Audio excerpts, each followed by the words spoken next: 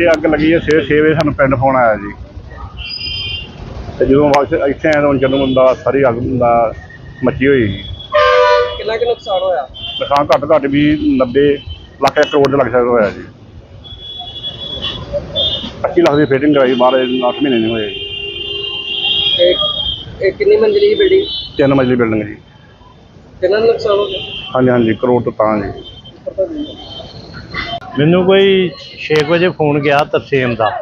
ਤੇ ਮੈਂ ਪਿੰਡ ਪਾੜੇ ਸੀ ਤੇ ਮੈਂ ਉਸ ਤੇ ਆਇਆ, ਹੁੰਦਿਆਂ ਨੂੰ ਲੱਗੀਆਂ ਸੀ ਗੱਡੀਆਂ, ਅੱਗ ਬੁਝਾਉਣ ਡਏ ਸੀ। ਤੇ ਇਹ ਕੋਈ ਅੱਗ ਤਕਰੀਬਨ ਪਤਾ ਲੱਗਾ ਵੀ 5:30 ਪੌਣੇ 6 ਦੇ ਕਰੀਬ ਲੱਗੀ ਆ। ਇਹ ਜਸਵੰਤ ਸਿੰਘ ਪਿੰਡ ਕੋਟਲੀ ਸ਼ਾਹਪੁਰ ਤੋਂ ਆ। ਇਹ ਆਪ ਵਿਚਾਰਾ ਪਿੰਡ ਹੀ ਤੇ ਨੁਕਸਾਨ ਬਹੁਤ ਹੋਇਆ। ਲਗਭਗ ਕਰੋੜ ਰੁਪਏ ਦਾ ਨੁਕਸਾਨ ਆ। ਇਹਦੇ 'ਚ ਬੜਾ ਕੀਮਤੀ ਸਮਾਨ ਸੀ ਜਿਹੜਾ ਇਹਦਾ ਸਾਰਾ ਪੇਂਟ ਪਾਂਟ ਜੋ ਵੀ ਹੈਂਡਲ ਹੁੰਡਲ ਸਾਰਾ ਸ- ਸੜ ਕੇ ਸੁਆਹ ਹੋ ਗਿਆ ਵਾ। ਤੇ ਬੜਾ ਭਾਰੀ ਨੁਕਸਾਨ ਹੋਇਆ ਇਹਦਾ। ਇਸ ਕਰਕੇ ਮੌਕੇ ਤੇ ਪਹੁੰਚ ਕੇ ਜਿਹੜੀਆਂ ਸਾਰੀਆਂ ਗੱਡੀਆਂ ਜਿਹੜੀ ਇੱਕ ਬਟਾਲਿਓ ਆਈ ਆ ਸਾਰਾ ਇਹਨਾਂ ਆਣ ਕੇ ਬੜਾ ਅਰੇਂਜਮੈਂਟ ਕੀਤਾ ਤੇ ਪਾਣੀ ਦਾ ਜਿਹੜਾ ਪ੍ਰਬੰਧ ਕਰਕੇ ਸਾਰਾ ਅੱਗ ਜਿਹੜੀ ਆ ਬੁਝ ਗਈ ਆ ਲਗਭਗ। ਲੇਕਿਨ ਸਮਾਨ ਸਾਰਾ ਸੜ ਗਿਆ। ਕਿੰਨੀਆਂ ਗੱਡੀਆਂ ਲੱਗੀਆਂ ਇਹਨੂੰ ਅੱਗ ਬੁਝਾਉਣ ਗੱਡੀਆਂ ਚਾਰ ਆਈਆਂ ਸੀ ਦੋ ਵੱਡੀਆਂ ਤੇ ਦੋ ਛੋਟੀਆਂ। ਇੱਕ ਗੱਡੀ ਬਟਾਲੇ ਕੇ ਉਹ ਵੀ ਮੰਗਾ ਲਈ।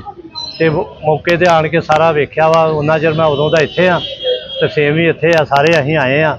ਆਣ ਕੇ ਗੱਡੀਆਂ ਸਾਰਾ ਮੁਲਾਜ਼ਮ ਇੱਥੇ ਆਣ ਕੇ ਬਹਿ ਗਏ ਸੀ ਤੇ ਬੜੇ ਜ਼ੋਰ ਨਾਲ ਆ ਕੇ ਜਿਹੜੀ ਇਹ ਭਜਾਈ ਆ। ਲੇਕਿਨ ਬਾਅਦ ਇਹਦਾ ਨੁਕਸਾਨ ਜਿਹੜਾ ਬਹੁਤ ਹੋਇਆ ਵਾ, ਲਗਭਗ ਕਰੋੜ ਰੁਪਏ ਦਾ ਨੁਕਸਾਨ।